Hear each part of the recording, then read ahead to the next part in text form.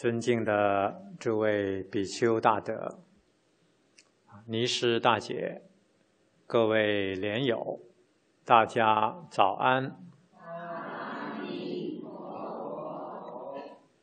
请打开经本，行寂静行，远离虚妄，依真谛门，执众得本。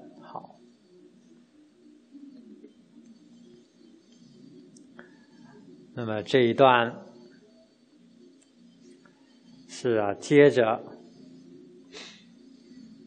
昨天啊所讲到的那一段呢，延续下来的啊，都属于法藏菩萨自力行。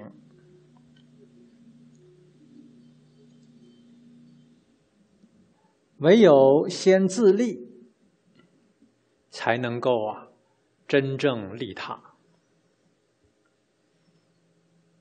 如果自己整个都在啊烦恼之中，又怎么能够啊帮助别人卸脱烦恼呢？啊，纵然。自己会讲经说法啊，因为内心的烦恼啊没有清除啊，难免就会放毒啊。这一百句的佛法当中，九十九句是正法啊，可能就有一句啊，是从自己烦恼心中。讲出来的啊，所以法藏菩萨在这里给我们示现了：要真正利他，就先要自己积职德行。那么这一段讲到啊，行。寂静行，远离虚妄。这个寂静行，就是啊，如来所行的究竟清净的灭度法。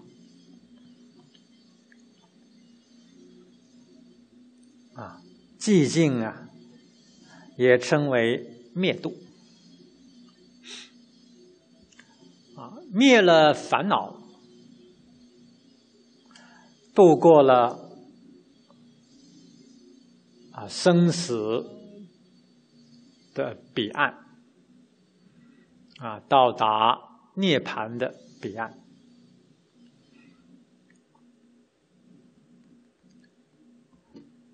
那么这个灭度的妙行是啊，寂静幽深，不是语言可以宣说，甚至不是思维可以呀测度。古德所谓呀，言语道断，心行处灭。啊，言语就说不出来了。啊，到这儿言语就断了。啊，无话可说。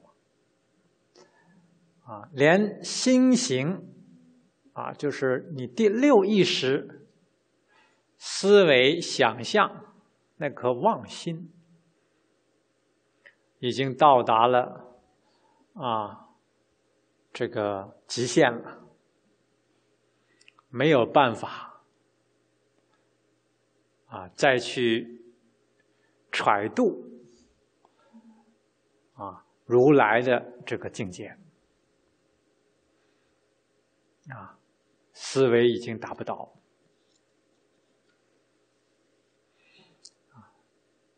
那么这是如来呀果决的境界啊，远离了一切的虚妄，所以行的就是寂静行。凡夫啊，心都是虚妄。啊，所以心就不能寂静。啊，《圆觉经》上就讲到，啊，虚妄浮心呐，多诸巧见，不能成就圆觉方便。一个人用虚假的浮动的心啊，又加上呢多种的巧见啊，就是啊，我们讲啊，很多心眼儿，很多花招啊，很多策略。视智变聪很多，那么这些人呢，不能成就圆觉方便，就跟呢涅盘寂静不相应。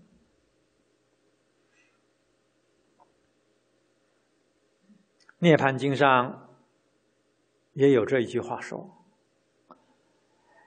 一切恶事啊。”虚妄为本，啊，这句话很深刻。啊，我们呢造作的一切的恶事，都是从虚妄心中啊生出来的。啊，所谓呀，心不真诚，啊，虚伪，啊，浮夸。甚至狂妄，啊，这就是虚妄之心。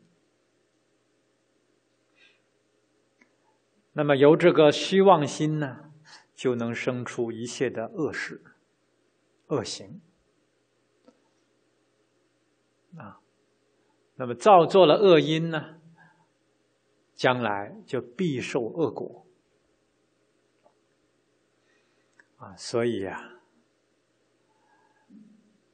憨山大师啊，有两句话讲啊：“人从巧计夸伶俐，天自从容定主张。”啊，人呢不懂得事实真相，啊，用他的巧计，啊，显出自己很伶俐。很聪明。啊，玩很多的花招、骗术。啊，一时得逞，但他不知道啊，天网恢恢呀，疏而不漏。啊，因果报应啊，丝毫不爽。啊，造作的善恶业因，纵然是极其微细呀，都必有果报。啊，所以凡是用这种虚妄的、啊浮夸的、奸巧的心，下场都不好。啊。都会遭天的报应啊，还不如啊老老实实、本本分分的人可以得善终啊。古来历史给我们呢无数的这种啊例证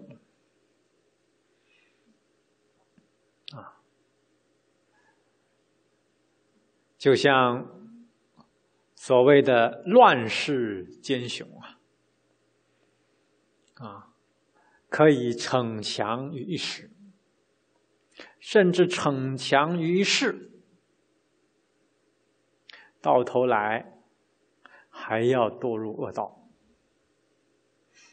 啊！阎王爷啊，秉公执法啊，不会呀，姑息纵容啊！所以，真正啊有觉悟的、有智慧的人，一定啊远离虚妄啊，对一切人。一切事都用真心啊，不用妄心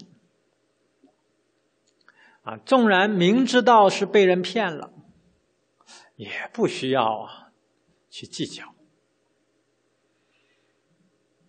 啊。这个难得糊涂嘛啊！真正有智慧的人呢，就装糊涂。啊，人家以为他糊涂，啊，实际上呢，他心里明明白白。他知道那个人造的事、造的业，啊，会有什么果报。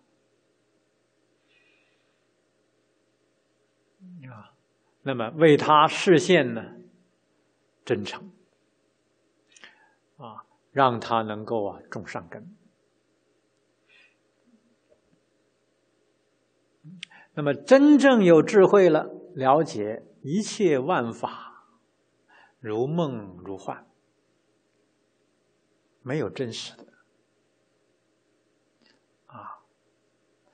那么，你在这梦境当中，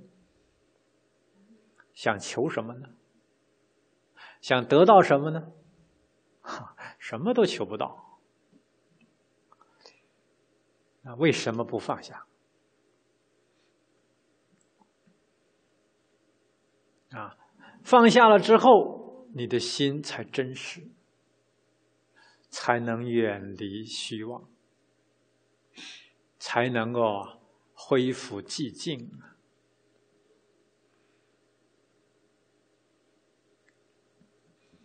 啊，那么法藏菩萨住真实慧，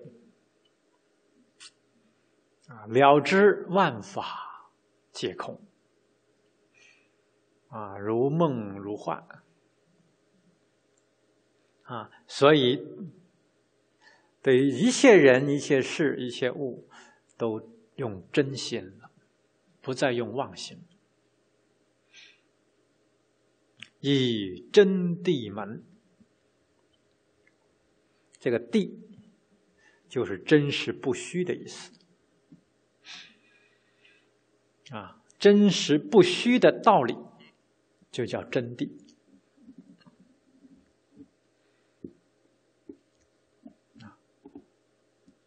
那么什么是真谛？真谛是啊，相对于俗谛来说，啊，俗谛呀，就是凡夫能够啊理解的道理。啊，真谛呢，就凡夫就不能理解了，因为这不是他们习惯性的思维呀，啊，不是他们能够啊想象得到。啊，例如我们看到了山河大地，啊，就以为它是真实啊。啊，凡夫哪个不认为？哎，这个地球万物都是真实的呢？啊，那么这个就属于呀，啊，迷，它不是事实真相。那佛呢，就随顺了众生的迷情，建立了一个俗地。啊，既然你着这些相，那佛就跟你讲这些相啊，那相里头有因果啊，啊，因果报应丝毫不爽。啊，随顺俗谛，教化众生啊，令他们渐渐的觉悟，教你要断恶修善。教你要好好持戒。啊，那么这些呢，我们众生啊能够理解。啊，善有善报嘛，恶有恶报。啊，所以呢，想要得善报，就来好好持戒。那佛也跟你讲，持戒呀，真有利益。啊，什么利益呢？名誉及利养，死得升天上。啊，你好好持戒啊，你就有名誉，你就有利养，啊，这名闻利养都来了。啊，你不就喜欢这些吗？啊，持戒就能得到的，而且死了之后还能升天上。啊，你不会多恶道。这时啊，随顺俗谛跟你讲，啊，这个凡夫啊，心量啊，就那么小嘛，啊，他就希望得到人天的这些福报，你就很满足了。啊，佛就告诉你，哎，这些怎么得到？啊。那么，对一类呀悟性很高的众生，啊，他觉悟了，他不是求人天福报，啊，不是求世间的名闻利养，啊，他要求涅盘，他要求寂静为乐，啊，那么。佛就啊，随顺这个根性啊，跟他们讲真谛。啊，这是啊无漏智慧所见到的涅盘境界。啊，所以佛法有真俗二谛啊，这俗谛也叫世谛。啊，世间人能明白的道理。那么真谛呢，也叫第一义谛。啊，那往往真俗二谛讲起来的说法，看似矛盾。啊，例如随顺俗谛来讲，就跟你讲，有众生，你要好好度众生。啊那依真谛来讲呢，众生无所有，啊，度一切众生实无有众生可度，啊，这就是随顺真谛而言。那么法藏菩萨是啊，随顺呐真谛之门，啊，所以。啊，他发的誓愿啊，是跟呐真谛第一谛相应的。那么阿弥陀佛四十八愿，其实就是四弘誓愿的展开。那么四弘誓愿。啊，众生无边誓愿度。如果见到有众生可度，这就是是谛。啊，真谛呢？告诉你，啊，众生啊，本无所有。啊，度尽众生，实无有众生得灭度。啊，所以呢，明白的人就啊，终日度生啊，终日无度啊，心佛众生三无差别啊，佛见众生本来是佛啊，那么佛跟众生。实际上都是心所现，都是假象、假名。啊，真呢？真谛呢？啊，就是，无所有，无所得。啊，以无所得故啊，菩提萨埵。啊，真正啊，到了无所得的境界了。这就正菩提了啊！而菩提也实无有菩提可得啊，本来如是啊。那这就是一呀，第一义谛啊，圣义地。那么这个门就是比喻啊啊。通入啊涅盘城的这个门，啊，就是门路啊，依这个地一地的门路来培植众德之根本啊，所以四弘誓愿第二条，烦恼无尽誓愿断。如果一俗地呢，啊，就有烦恼可断；啊，一第一地呢，啊，断一切烦恼而实无有烦恼可断。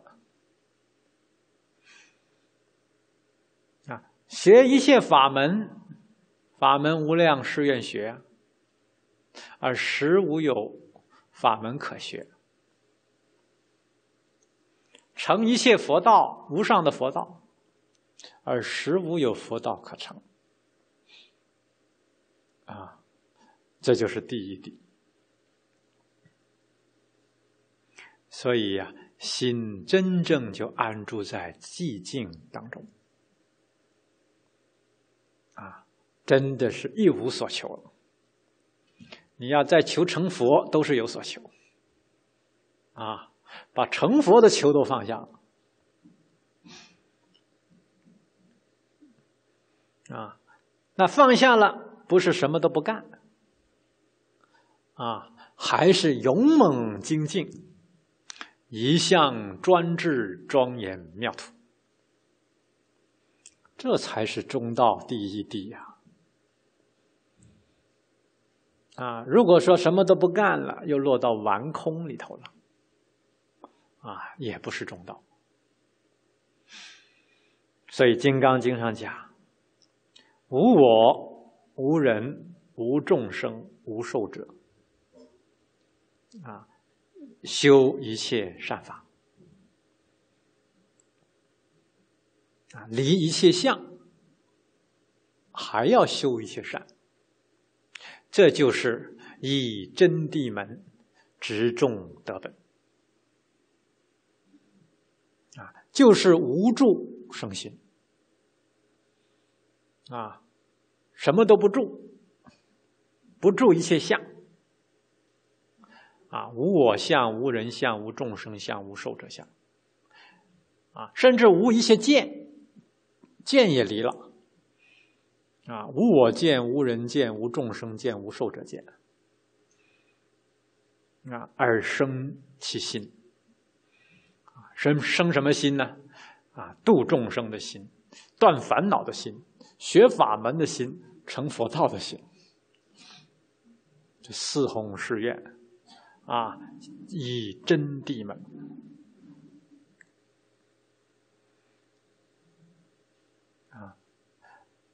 那么勇猛精进的去落实自己的誓愿，就是执重德本。啊，重德就是一切的善。啊，就是《金刚经》上讲的修一切善法。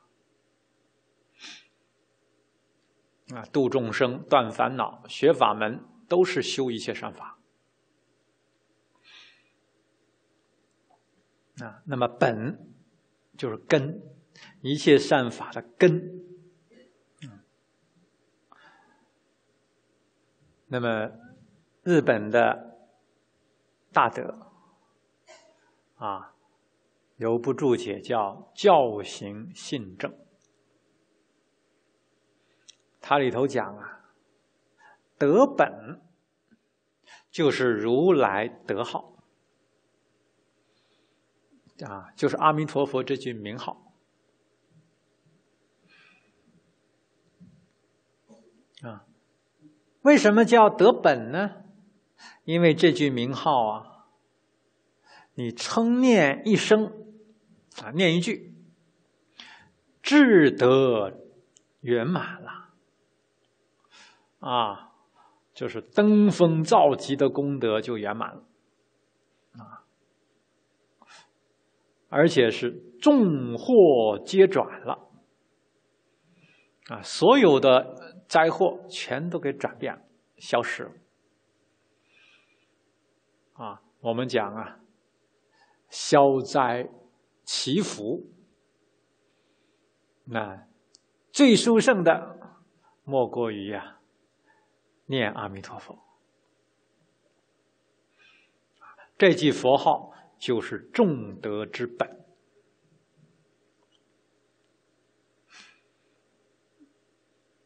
啊，能消一切的业障，能破一切的烦恼。啊，成就无上功德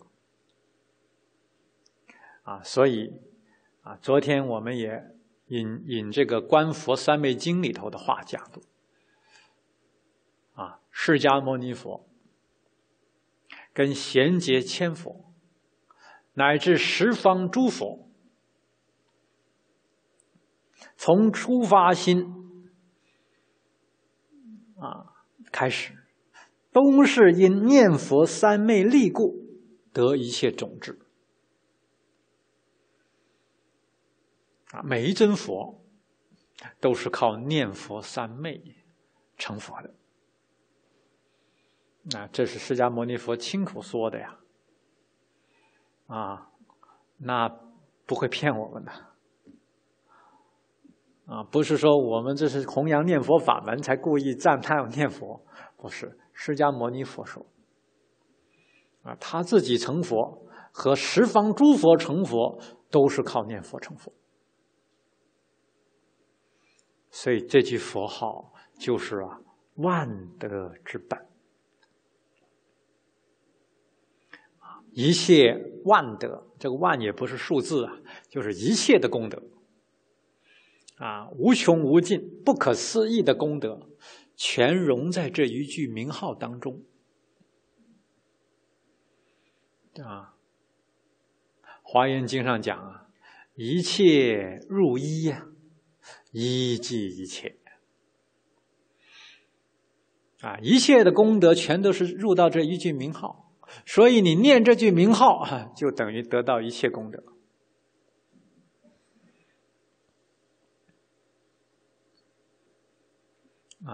啊。藕益大师在《阿弥陀经要解》里面就讲到，说一句南无阿弥陀佛呀，就是本师释迦牟尼佛在五浊恶世所得的阿耨多罗三藐三菩提法啊，这就讲的更加确切了啊，执众得本。到底什么意思？就是成佛啊。那么这一句名号呢，就是佛所成的佛果啊，是释迦牟尼佛在五浊恶世当中所得到的阿耨多罗三藐三菩提的果，就是佛果。啊，无上正等正觉的果。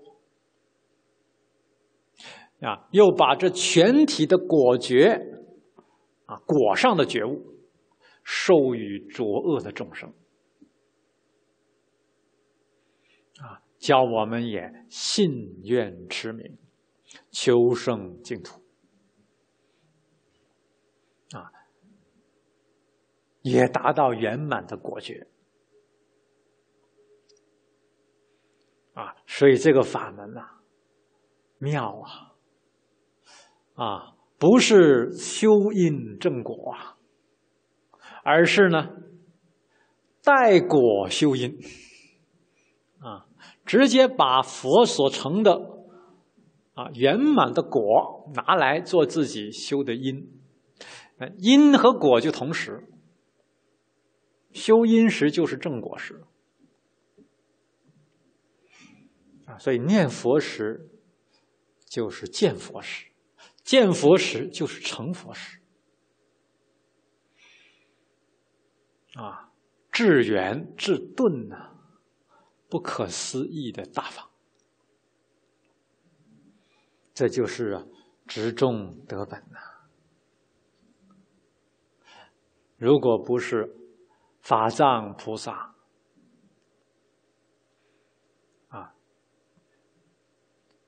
行如来的。寂静之行，助如来的真实之慧，啊，圆满的啊，显发自信万德，岂能够啊安利呀这么殊胜的法门啊？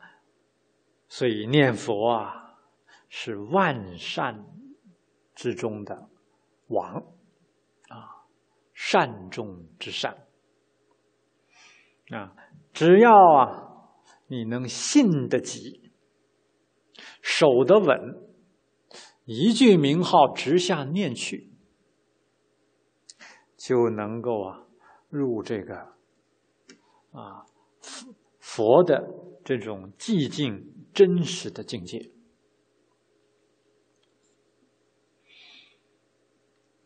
好，下面我们再看一段经文：不计众苦，少欲知足，专求白法，惠利群生，志愿无倦，忍力成就。这还是谈阿弥陀佛因地的修行。啊，这些都是非常值得我们呢学习呀！啊，前两句不计众苦，少欲知足，修行不能够计较啊那些苦啊，我们在这个。五说恶事，就是啊，堪忍的世界。啊，娑婆世界就是堪忍啊，啊，堪忍就是有的你忍了，啊，够你忍的了，啊，处处都得忍，啊，每个人都有生老病死，啊，爱别离，怨憎会，求不得。五阴炽盛，啊，八苦交煎，啊，你不忍怎么行呢？啊，你不忍就活不下去了，啊，你去自杀，啊，自杀之后更苦，嗯，人要是自杀了，啊，那七天就得再受一次那那个死的时候的痛苦。比如说你跳楼了，啊，不是一一跳就了了了，啊，跳了之后就没完没了，啊，那七天之后再跳一次，再七天再跳一次，啊，你就摔吧，啊，一直到有人给你替身了，哈，你才能解脱。啊，所以那些自杀的鬼呀，都很想找替身，啊，所以那个地方如果跳了楼的人，那个地方啊啊，可能不久之后又会有一个跳楼的，啊，那么马路上如果是经常出车祸的地方啊，就老出车祸，那，什么原因呢？大概就是那些鬼要找替身，啊，我受苦受够了，换你来了。啊，实际上呢，啊，这也不能了苦。啊，苦怎么来的？苦是造恶业来的，苦是果啊，啊，恶业是因呢。啊，你不造恶业就不会有苦，那受苦的时候，你就知道。这是我前世今生所造的恶业感召，所以不要怨天尤人，啊啊，要长生惭愧心及忏悔心，啊，要求忏除业障，啊，断恶修善。这才是能根本的了苦，啊，了脱痛苦，而不是在里头计较。人在一生当中总是有啊顺利的时候，啊，也有啊不顺利的时候，啊，穷通祸福，这是难免的呀。啊，月都有阴晴圆缺呀，啊，人怎么没有旦夕祸福呢？啊，所以知道之后，啊，如果遇到啊不顺心的事儿，啊，甚至遇到了苦难，啊，就逆来顺受。啊，在受报的时候，不要再做恶业。啊，愁肠业在，啊，不造新殃。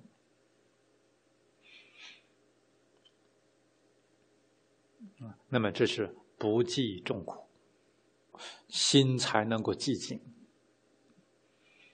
啊，如果有一丝毫怨天尤人，这心就静不下来。啊，那就跟烦恼相应，跟烦恼相应，那一定继续造恶业，那就是有无穷无尽的苦难。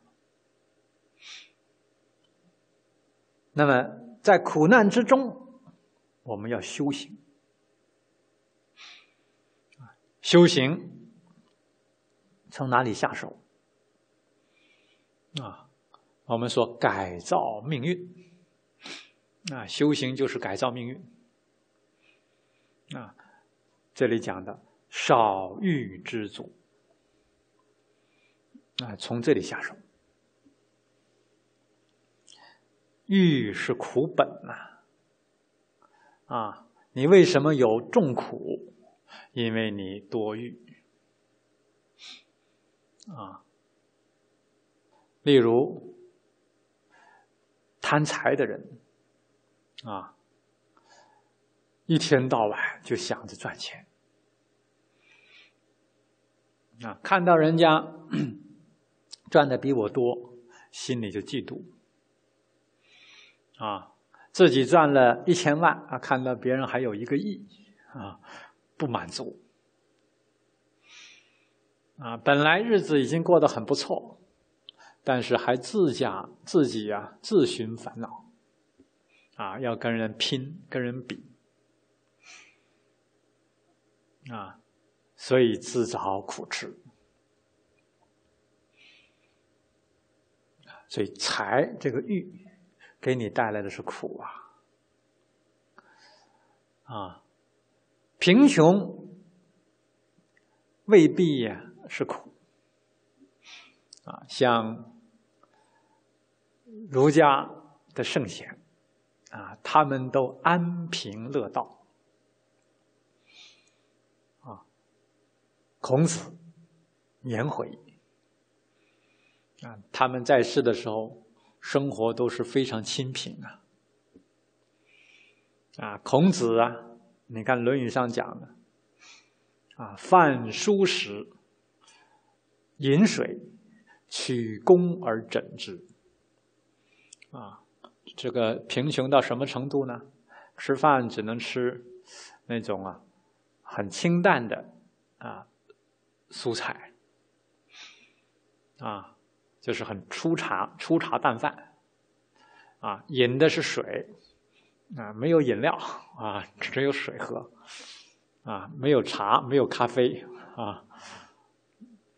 然后呢，睡觉的时候取弓而枕之啊，就把这手手肘啊，这个当枕头来睡啊，叫曲弓，把手手臂曲起来啊来枕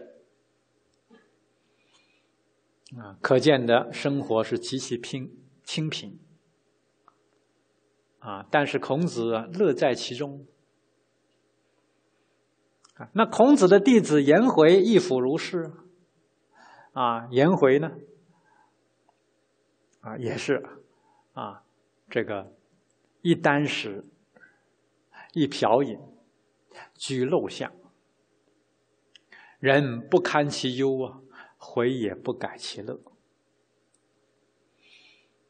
啊，他吃饭。连碗都没有，啊，拿个啊竹子编的小篓，啊叫箪，啊一箪食，啊喝水杯子都没有，拿个葫芦瓢，啊一瓢饮。居住在陋巷之中，别人在他的处境中之中啊不堪其忧啊，可是颜回不改其乐，嗯，他很快乐。啊，为什么快乐呢？因为少欲知足，知足就常乐。不知足的人就常苦。啊，所以苦和乐跟你的财富多少不相关呢？啊，跟你的人生态度有关系。啊，你要能少欲知足，你就乐了。啊，尤其是学习圣贤教育，学习佛法，那就更是其乐无穷。啊，所以释迦牟尼佛给我们实现的，啊，舍弃了宫廷的荣华富贵，啊，出家做苦行僧，日中一时，树下一宿。啊，所有的只有三亿一波，啊，可是他很快乐，法喜充满。嗯，就像老和尚给我们讲的，学佛是人生最高的享受啊！你能体会到这种最高的享受，那那个世乐。世味，啊，世间的那些味道，就对你没有吸引力了。啊，我就是听到老和尚常常这么讲，学佛是人生最高享受，啊，听多了，心就痒了，啊，我也要来学一学，体会一下人生最高享受，啊。啊，所以原来在大学教书，待遇也不错，啊，也蛮清闲的，啊，那些都放弃了，嗯，是吧？既然学了佛了，我们就要啊，啊，真干，啊，不是说说而已，啊，把这些世间的欲望。啊，名闻利养、五欲六尘，啊，放下，你放下之后试一试，看看有没有得到最高的享受。啊，如人饮水，冷暖自知。你这水自己喝了才知道啊，它是暖的，是冷的。你你不喝，怎么告诉你都不知道啊。所以你放下了啊，放下一分，你就啊有一分的法喜啊；放下十分，你就有十分的法喜啊。所以啊，出家啊，很多人对我出家都不理解啊。到近来还有人在问我。啊，还没想通你为什么要出家？啊，以前我都讲过一个专题，我为什么要出家？因为很多人问我，我就一函便付了。啊，讲了一堂课，就回答大家问题。啊，就是为了想体验一下人生最高的享受吗。啊，少欲知足啊。啊，财色名食睡都远离。啊，少欲里头啊有真乐，因为你呀心无所求了，啊就能够啊寂静，啊妄想自然就少了。啊，妄想少了，啊，你的身体就会更健康，啊，心情更愉快，啊，虽然工作量很大，啊，你都可以应付，啊，都能够啊，啊，游刃有余，因为没有思想的包袱。啊，无忧无虑啊！到现在，我可以说得上啊，是无忧无虑了啊，没有什么事儿值得我去烦心。如果你执着名誉，就会动心啊。世间的世人啊，学学儒的。读书人，他们能放下财色啊，也能够少欲知足，但还有一样没放下，就是名啊，他要自身的荣誉、尊严。啊，所以不是有句话讲吗？“士可杀不可辱”嘛。啊，世人是有骨气的。啊，很清高的，啊，你要了他的命都没问题，但是不能侮辱他，啊，他不能接受你的侮辱，这是世人呐，啊读书人都有这种习气，啊，这是一般的世人啊，啊，佛法里讲这个世啊，讲的是大事。大事是谁呀？菩萨啊啊！士可杀不可辱，大事可杀亦可辱啊！所以像忍辱仙人被割离王割截身体，自始至终不生嗔恨。嗯，你辱他也没事儿。啊，这样的人才是忍力成就。啊，不仅是少欲啊，无欲了。啊，财色名食睡五欲，通通都已经清除干净。啊，无欲则刚。啊，人到了无欲的境界啊，自然就刚强。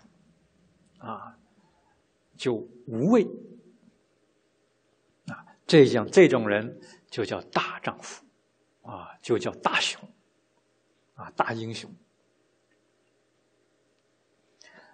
佛给我们实现的就是这样的榜样，啊，我们应该效法。啊，所以学佛，如果不先修少欲，还计较生活的这些享受啊，啊，要享乐啊，啊，还有很多很多的欲望啊，啊，这些跟道啊就远离了。啊，这个《一教经》上啊。又说到：“行少欲者，心则坦然。一个人无欲无求，他心里头坦然，没有恐怖，没有忧虑，啊，他什么都不要，啊，所以你就拿他没办法，啊。”你如果有所求，就受人以柄，啊，那你就被人牵制，啊，一无所求，那人家就牵制不了你，啊，那么《一教经》又说：“有少欲者，则有涅槃。”啊，所以涅槃从少欲之中得来。如果你呀自己欲望很多，啊，对这是世间呐，还有种种的贪念，那个出离心呐就很欠缺了，啊，那就谈不上涅槃了，啊，所以佛为什么赞叹出家？啊，因为出家就是要修少欲知足。啊，学佛那样的生活，啊，三衣一钵，啊，日中一时，树下一宿，啊，手不捉金钱，啊，那心不念世事，啊，所以他能证得涅槃。啊，那么在家人相对困难，就是因为呀，这些世缘很多，啊，就很不容易。啊，不过话又说回来，啊，在不容易的境界当中，你能修成，这就难能可贵，这就更值得赞叹。啊，所以出家修行啊，如水中的莲花；在家修行如火中的莲花。啊，那就更难能可贵。啊，出家持戒容易啊，啊，他有持戒的环境，在僧团里面大家都这么做，你不做都不好意思。啊，这持戒就容易。在家里持个五戒都不容易啊。啊，那八关斋戒就更难能可贵了。啊，所以佛只是要求在家人一日一夜受八关斋戒，而出家众呢，一辈子就得要八关斋戒。啊，沙弥戒就是等于八关斋戒，再加一条手不捉金钱。那那比丘戒二百五十条，就是沙弥戒更展开了。啊，那所以佛本意就是希望我们修少欲，啊，修离欲，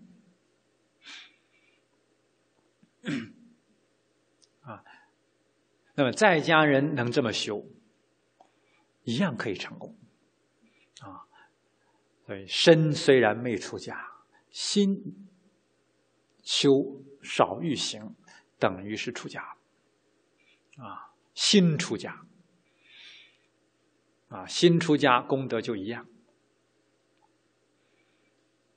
啊，所以《无量寿经》上辈往生的人是舍家弃欲，行作沙门。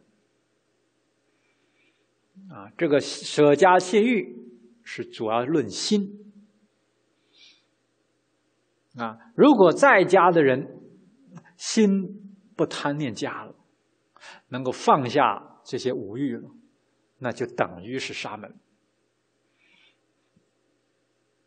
啊，我记得我在二十二十二岁生日的时候，啊，我自己写了一首诗策励自己，啊，有两句话还记得，就是“内密沙门行，外显在家相”。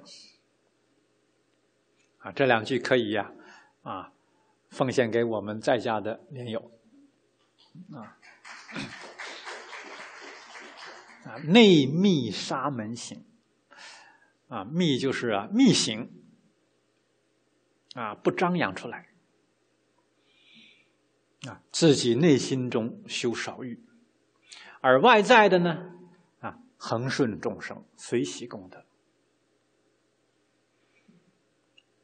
啊，比如说家里人如果不学佛，啊，那我们要跟家里人要相处怎么和谐呢？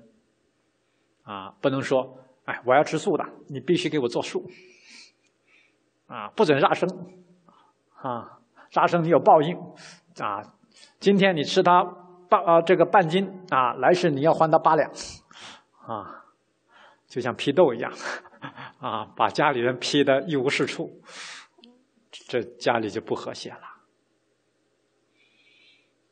啊，你要内密沙门行，啊。我自己吃肉边菜，人家吃肉，我们绝不批评。啊，那么实在别人要我吃肉，我可以吃肉。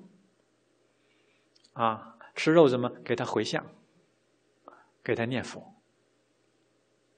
啊，我以前在呃工作的时候，啊还在家里工作的时候，啊，跟外面的这些。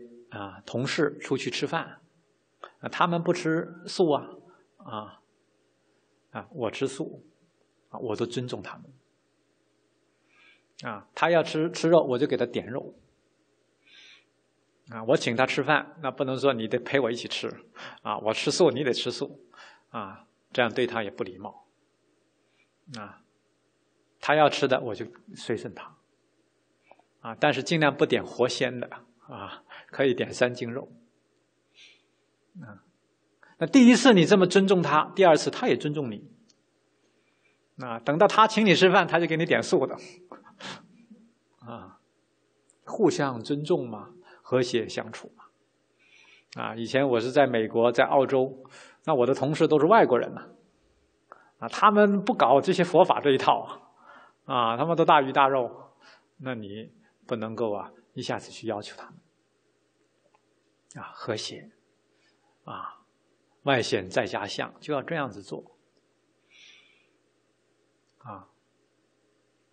那还有的莲友也问过这么一个疑难的问题，啊，说这夫妻，啊，年轻的夫妻，一方学佛，一方不学佛，啊，在一起生活，啊，自己就想修离欲行啊，啊。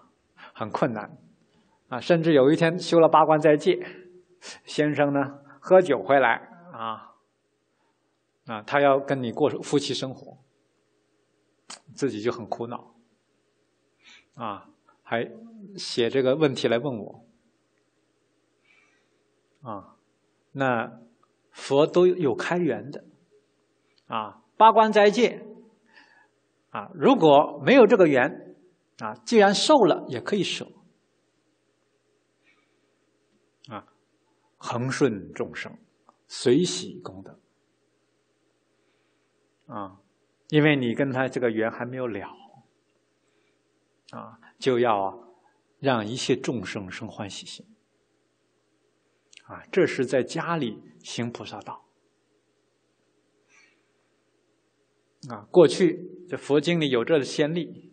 茉莉夫人就是这样，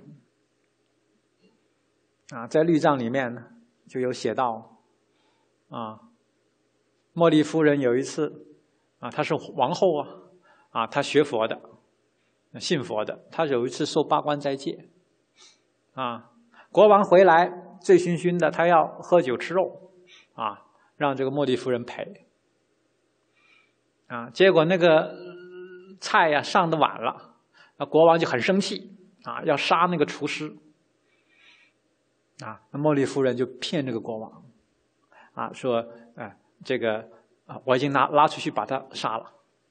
啊，其实把它藏起来了，啊，保护他一条人命，啊，但是打妄语了，啊，要陪他喝酒，啊，而且穿上盛装，啊，涂胭脂，啊啊，这个擦水粉，是吧？这全都犯八关斋戒里头的，啊，不香花漫，不不香油涂身，全犯了，啊，饮酒妄语，是吧？啊。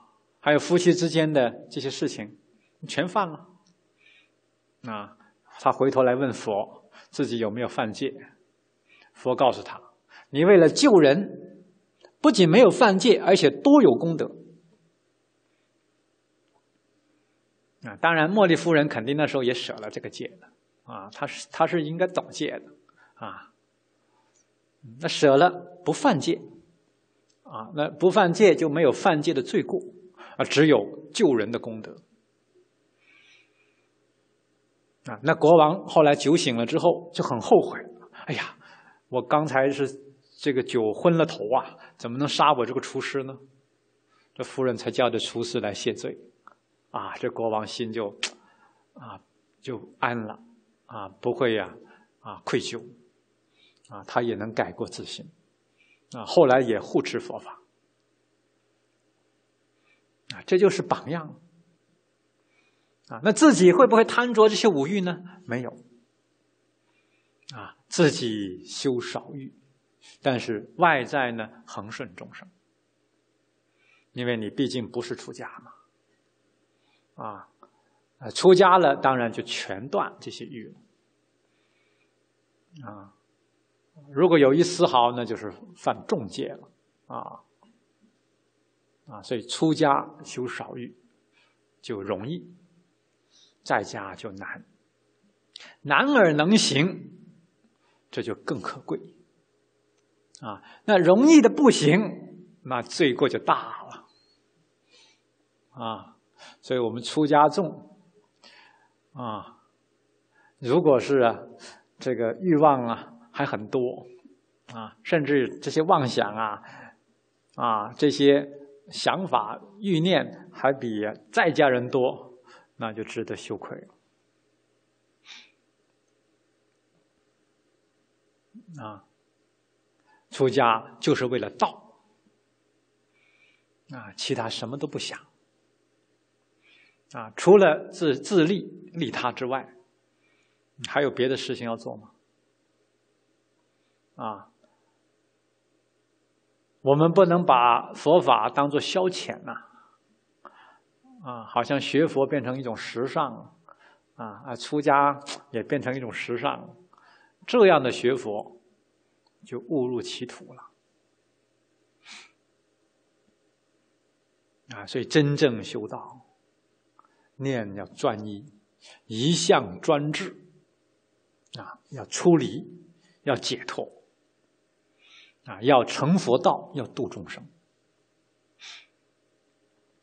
啊，不为自己生活享受，啊，就像法藏菩萨，啊，这后面有讲到的，啊，善护口业，不及他过；善护身业，不失律仪；善护意业。清净无染，啊，三业都清净，啊，口不谈人过，啊，不说世论，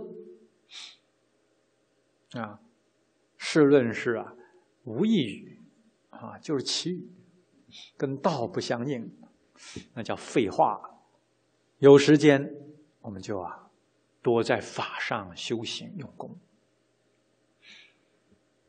啊，光阴呢，不等人，啊，如果我们呢，这个不懂得好好抓紧时间来修行，这一辈子很快就过完了。到临命终的时候啊，啊，那就啊手足无措，后悔莫及。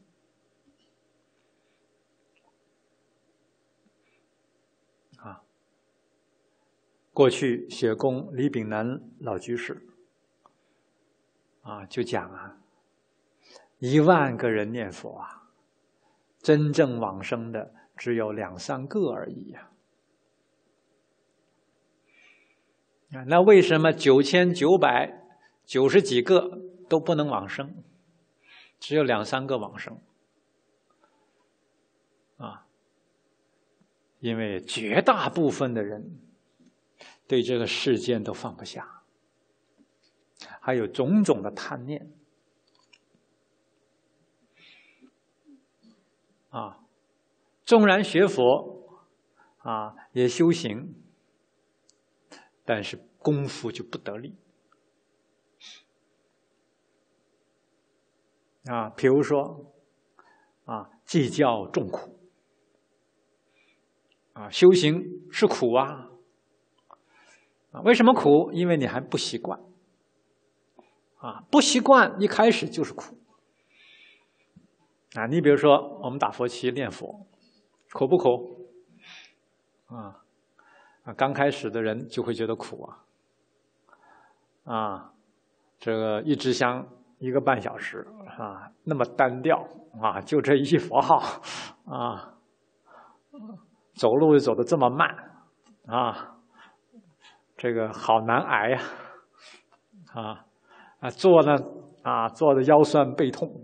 腿都麻了啊，还不起来，这就是苦啊！啊，因为身心还没有调柔的时候，就是这么苦。这苦就是你的习气啊。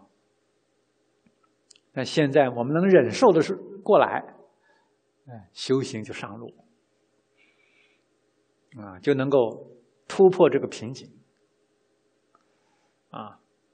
那现在苦一点，好过临终的时候苦啊！啊，现在多念佛，多积累往生的资粮，临终就自在。啊，现在啊，要是不用功，啊，到晚年的时候想用功用不上力，这才是真苦。啊，到临命终的时候啊，业力牵引，啊，该怎么生死就怎么生死。该怎么轮回就怎么轮回，啊！所以我们也见到很多的念佛人，念了一辈子的佛，到最后走的都是很惨，啊，不好看的，啊，为什么呢？就是啊，一辈子荒废了光阴，啊，怕吃修行的苦，啊，贪慕世间的乐。所以啊，最后就把自己坑害了。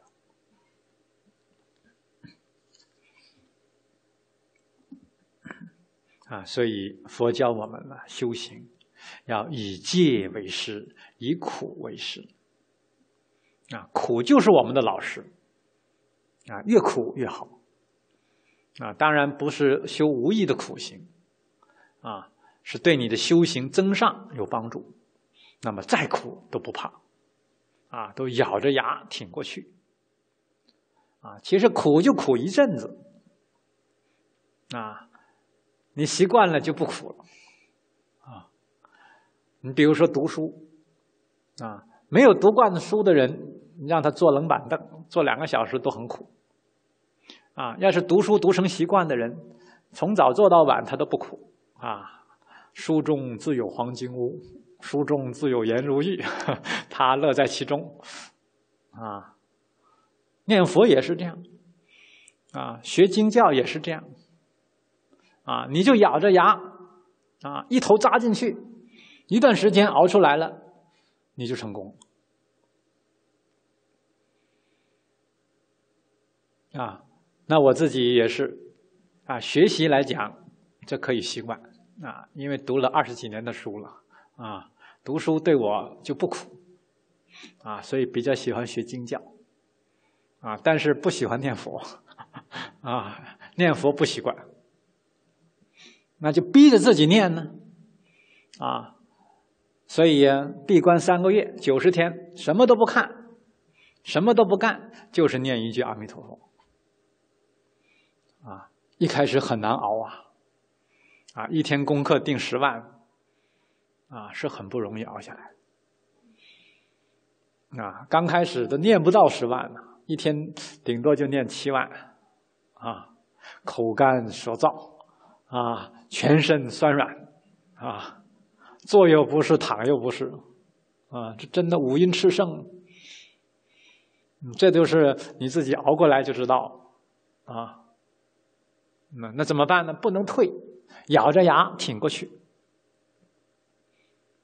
啊，慢慢慢慢呢，觉得七万没问题了，八万、九万、十万，啊，越念越轻松，啊，再念到十二万、十四万、十六万，啊，连续十天，每天十六万，啊，还有时间啊，读大藏经，啊。啊，睡眠也是刚刚开始熬不睡觉也是很苦，啊，就这么咬着牙熬，啊，熬到最后一天能念二十二万，啊，也觉得不难过，啊，趁我们现在年轻，能熬得起就得熬啊，不计重苦，啊，肯吃苦，不怕吃苦。最后你能够得乐，啊，就像《无量寿经》里讲的，啊，纵然一世修行啊，啊很苦啊，须臾间耳，后生无量寿果啊，快乐无极，永拔生死之苦，无复啊苦恼啊之患，啊，你呀得到究竟的解脱。这里讲到啊，自己的修行不计众苦，少欲知足。啊，不计众苦就是以苦为食，少欲知足就是以戒为食。啊，戒律的目的就是让你少欲知足，啊，断你的贪嗔痴的烦恼。啊，这是自利啦。啊，那还要啊，专求白法。惠利群生，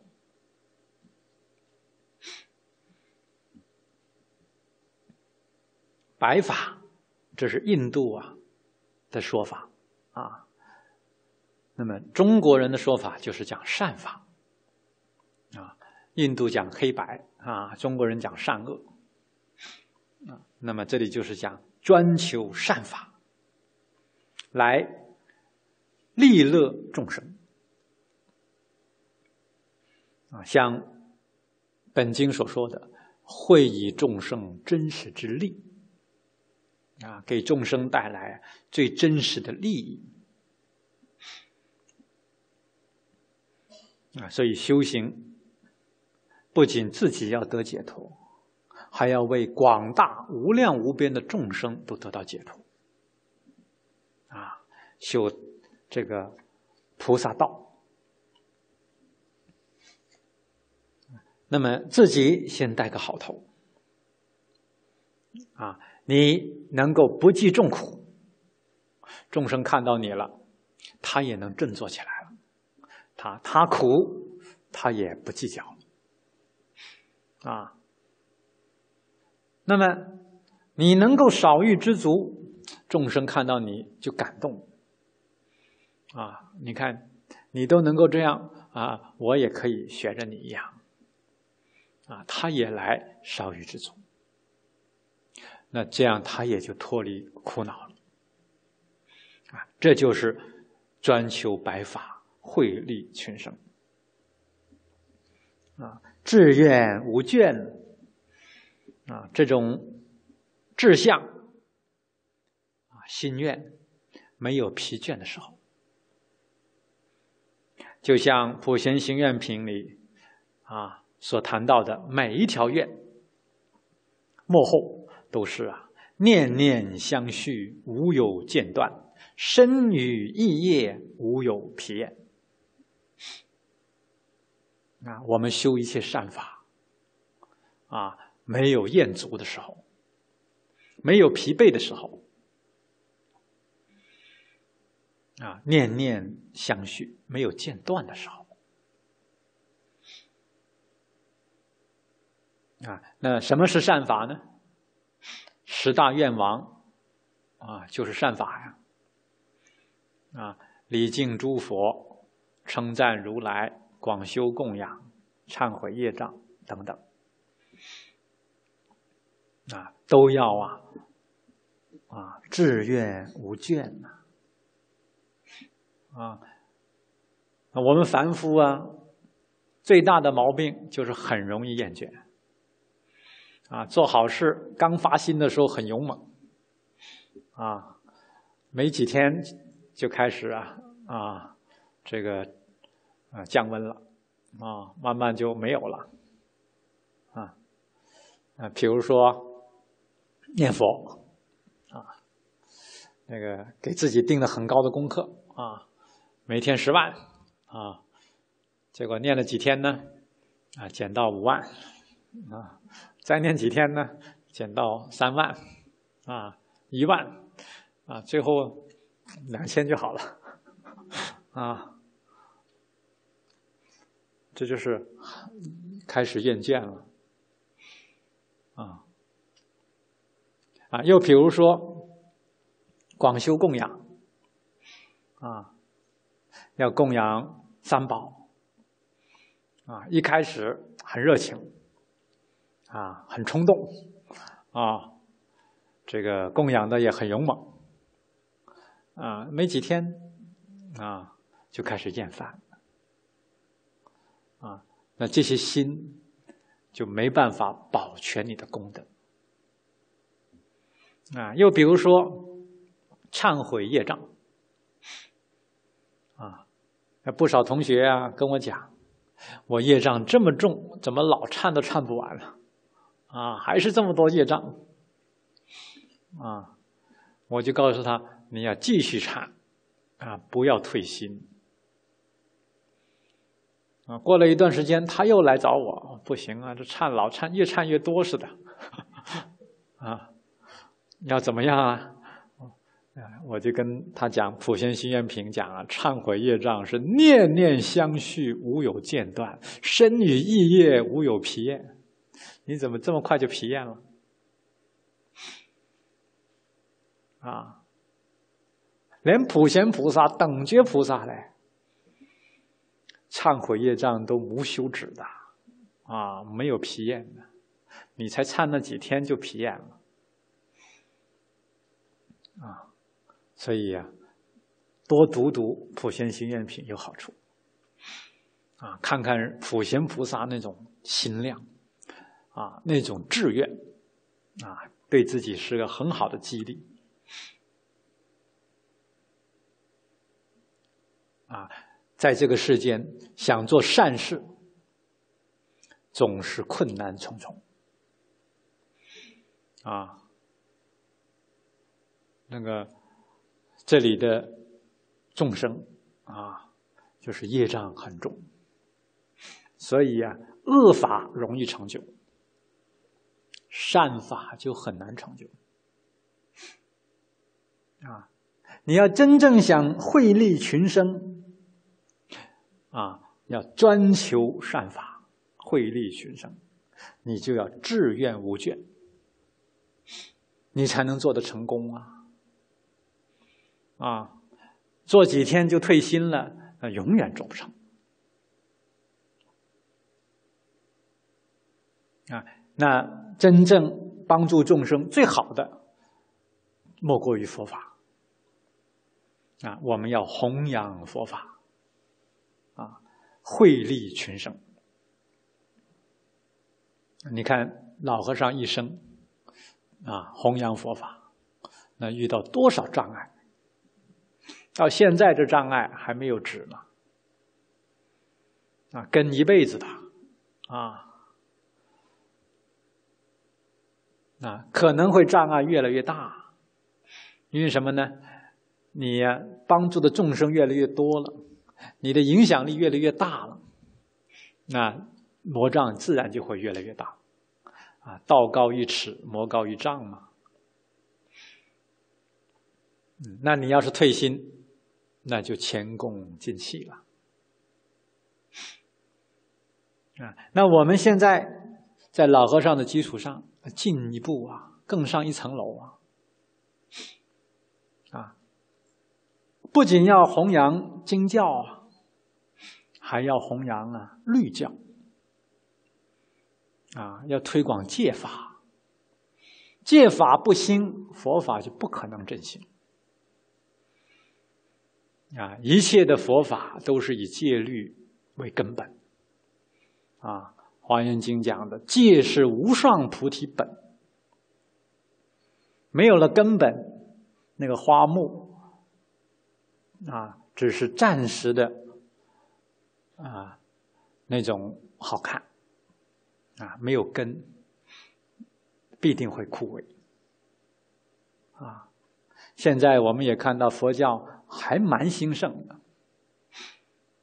啊，那实际上呢，危机重重。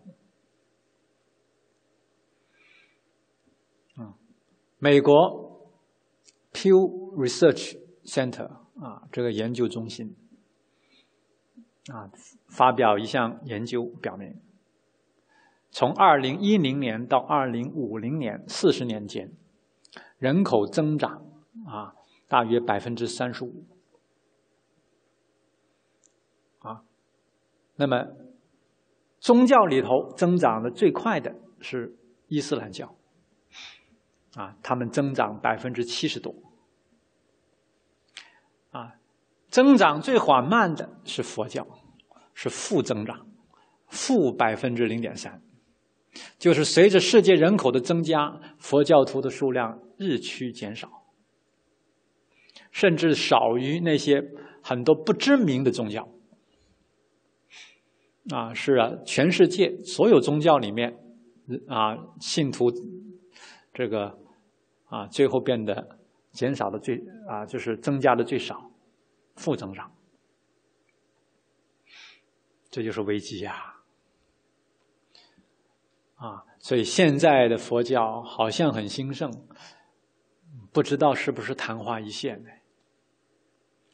啊，假如没有后续的这种教育、培养人才，那么将来的佛法可能都会灭亡。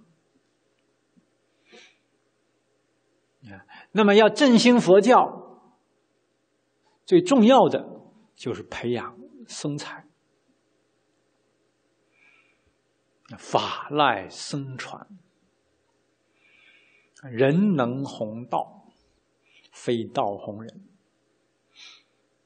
啊，那么出家众啊，比丘、比丘尼是佛门七众首二位啊。那么僧团的素质，就是关系到佛法的命脉啊。那么我们现在看到僧团目前的素质。比起古时候，真的是一落千丈啊！那么主要的问题就是缺乏戒律啊，所以现在当务之急就是要做好僧团自身建设啊，培养真正优秀的下一代啊，下一代的僧才。让佛法后继有人啊，那么僧团才能够带领大众啊。我们是三皈依嘛啊，皈依僧是统理大众，一切无碍。那现在统领的人都不行了，那就完了啊。所以这就是危机所在啊。所以我们要发愿呢啊。在弘扬净土经教的同时，还要弘扬戒法，特别是啊僧众的戒法，啊加强僧团内部的建设，啊，令了僧团重新恢复它的摄受力，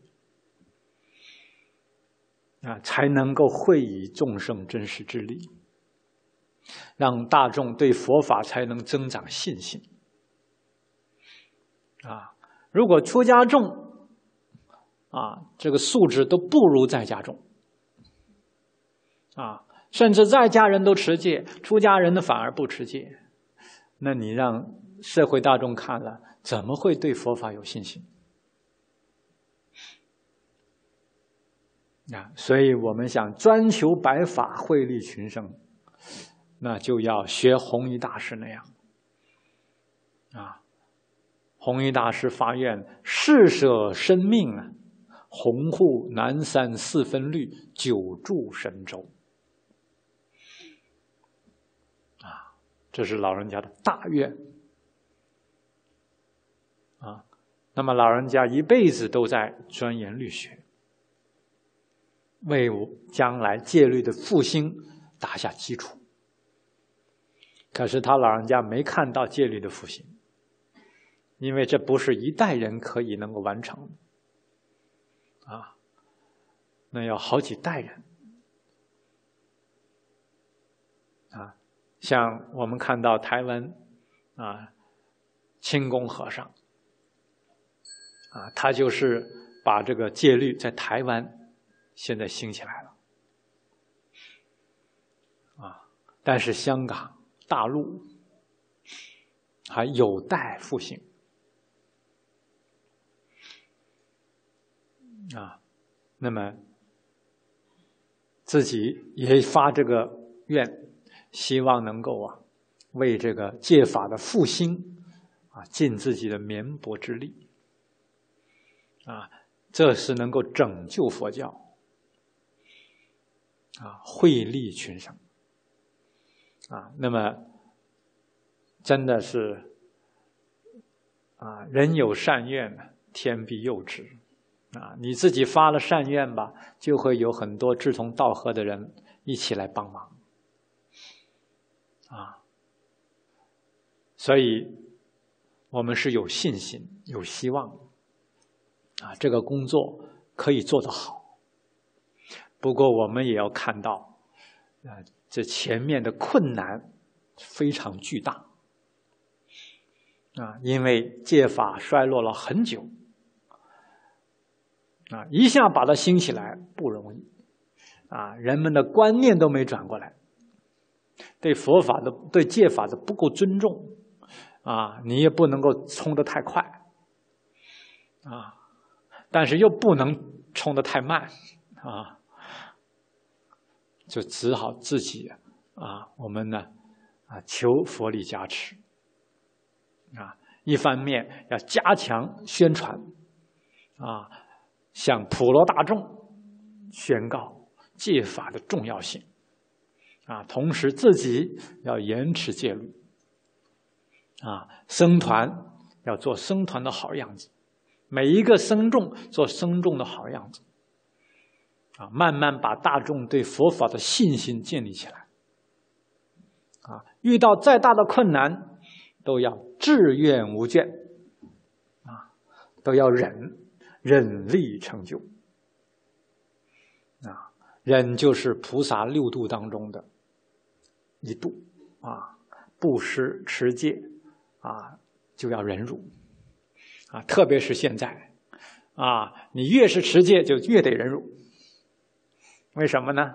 因为你看你做的好像跟人家不一样，你不忍怎么行啊？那必须得忍啊，忍着人家的讥嫌、人家的诽谤、人家的不理解、人家的嘲笑。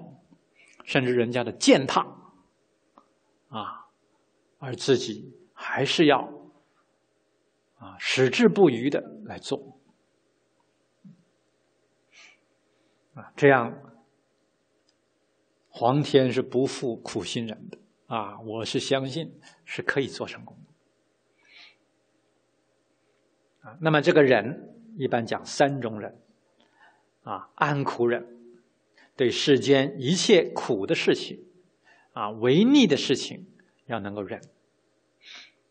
啊，第二种，他不饶一人，啊，人家来损害你，啊，伤害你，对你的身体伤害，对你的心灵的伤害，你也要忍。